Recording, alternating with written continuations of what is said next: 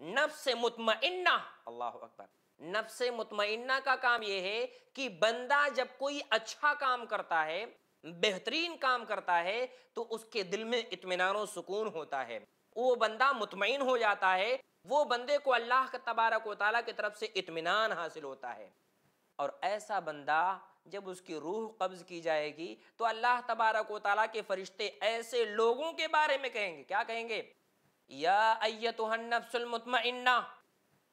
ए ए पाकीजा रूह या इला रादियतम लौट चल। अपने रब के पास लौट चल। तूने अपने नफ्स को पाक किया, अल्लाह ने तुझे पाक कर दिया। तूने अपने नफ्स को कंट्रोल में रखा, अल्लाह तबारक व ताला ने तुझे मुतमइन्ना के लफ्ज से पुकारा। या अयतुहन्नफ्सुल मुतमइन्ना।